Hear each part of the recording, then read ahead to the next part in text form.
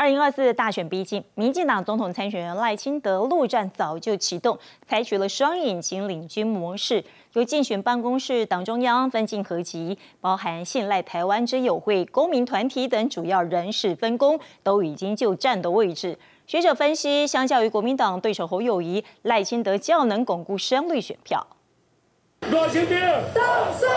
呼声中，民进党总统参选人赖清德亲自授旗。第一个民间工会后援会中油加油站工会同样从本命区台南出发。如果这个国际精精神咱无法度通清楚了解，完全掌握听五四三的话来扭曲的话者，对台湾的安全不利，自然而然对和平甲经济的发展一定带来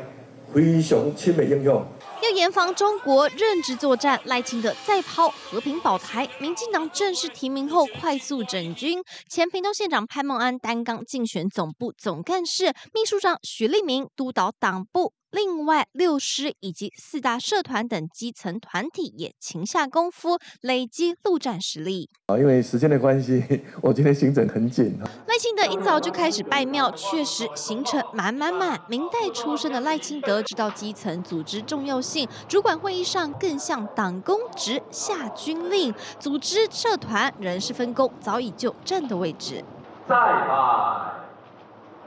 赖清德积极巩固总统选盘，因为蓝绿各有三成基本盘，深蓝深绿各占一成，浅蓝浅绿各占两成，其余四成中间选民，相较国民党对手侯友谊，要巩固深绿选票，赖清德比较容易。赖清德他是比较容易去巩固深绿、中绿、浅绿的一个选票，但是呢。侯友谊哈要去巩固深蓝的一个选票来讲的话，我觉得目前来说可能还要下一定程度的一个功夫。柯文哲两成中间选民成为胜负关键，赖清德分头组织急行军，党部信赖台湾双引擎分进合集，瞄准二零二四步步为营。谢全令姚嘉玲台北采访报道。